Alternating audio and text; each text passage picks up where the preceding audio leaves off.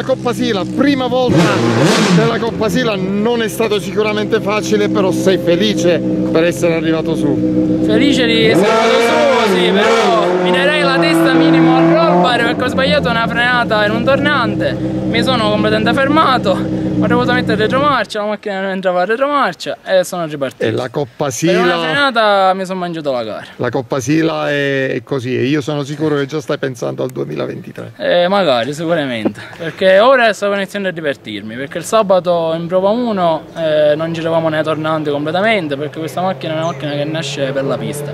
Quindi non avevamo l'angolo di sterzata che serve per girare in salita. Abbiamo fatto delle modifiche di sera e ora girava perfetta. Ho sbagliato io una frenata e mi sono mangiato Vabbè, ci sta la Coppa Sila, ci sta. Puoi sa- Speriamo di recuperare per la prossima volta e torniamo magari con più convinzione di prima. Assolutamente sì. Vuoi ringraziare qualcuno? Ringrazio i miei genitori in primis se mi permettono di stare qui e tutto il team della CR Corsa, Luca Caruso, padre, Andrea, Sepi di avermi fornito una macchina. Grazie. Grazie a voi. Gruppo CL Francesco Lataglia primo della Diamima CL Manicetto Honda ecco eccolo qua. Stupendi, bravo. Eccolo qui. Ora aspettiamo gli ultimi arrivati che possono essere i primi della classifica assoluta e li premiamo